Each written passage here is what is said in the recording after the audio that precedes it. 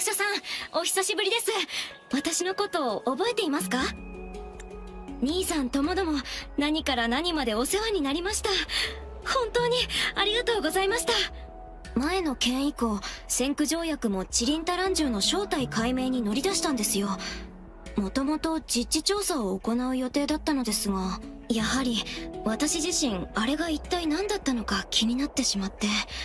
色々と独自に調べてみました。それである古本にチリンタランジュは四月のガジュマル近くで住処を作っていたのを見てこの付近で調査を行いたいと提案したんです。でも光なき森は汚染性のある毒胞子に満たされているので調査自体は棚上げにされていたのですが少し前に研究員から連絡があって何でも毒胞子はもう綺麗に取り除かれたみたいなんです。それで早速調査しに来たんですよ。そうしたら大きい生き物が残したと思われる痕跡をいくつか見つけました。学者たちの話によりますとチリンタランジュに違いないとのことです。この灯籠はチリンタランジュがかけたものに見えますけどどうしてでしょう？それと祝辞ノート？とても興味深いです。チリンタランジュも人類の言語を理解できるということでしょうか？しかしどうして祝辞なのでしょうか？謎が深まりますね。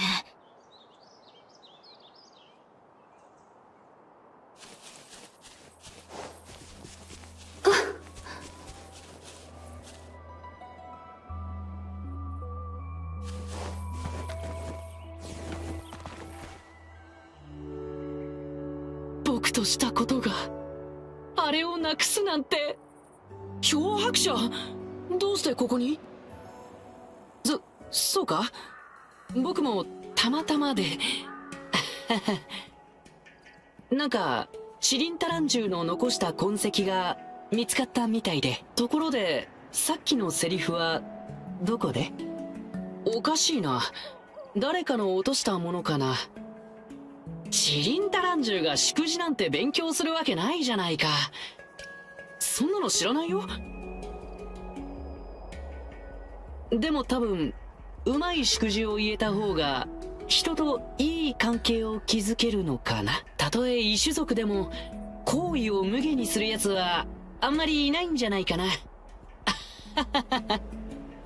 チリンタランジュの住処だったら灯籠くらいかけても不思議じゃないね。こんな暗い場所だし光が欲しい気持ちもわかるよ。チリンタランジュにはたとえ作られた月光でも一人でいる寂しさを紛らわしてくれるからね。うんそうだね。